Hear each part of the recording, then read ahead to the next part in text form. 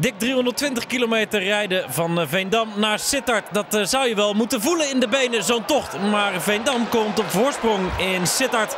Al na zes minuten. Mooie treffer van Niek Lohuis. Veendam, al vijf wedstrijden op rij ongeslagen in de Jupiler League. Toch nog altijd in het rechte rijtje.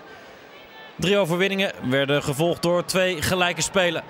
Dit is binnen het kwartier. Let op eh, deze prachtige aanval. Anko Jansen zet hem zelf op en rondt hem ook af. Nog altijd binnen het kwartier. Twaalfde minuut om precies te zijn. 2-0 voor BV Veendam. Niet al te veel toeschouwers in uh, Sittard. En uh, ze worden ook al niet getrakteerd op een, uh, nou op zijn minst felle start van de thuisploeg. Dit is net in de tweede helft. Anko Jansen opnieuw betrokken bij het opzetten van die aanval. Zet twee verdedigers te kijken.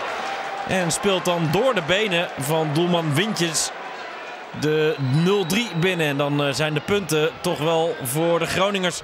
De ploeg van Joop Gal die het dus zo goed doet. Aansluitingstreffer dan ook een uh, hele aardige hoor. Van Mo Riani. Die inviel voor de op het oog zwaar geblesseerd geraakte Fabio Caracciolo in de eerste helft. Kijk eens naar deze goal. De 2-3 van Juri Srooyen, de rechtsback.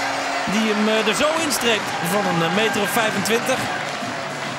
Stijf in de kruising. En zo zit Fortuna opeens weer in de wedstrijd na die 0-3 achterstand. Dan moet Anko Jansen natrappen. Dat is een tweede gele kaart binnen 10 seconden. En dan moet Veendam met 10 man proberen de voorsprong vast te houden.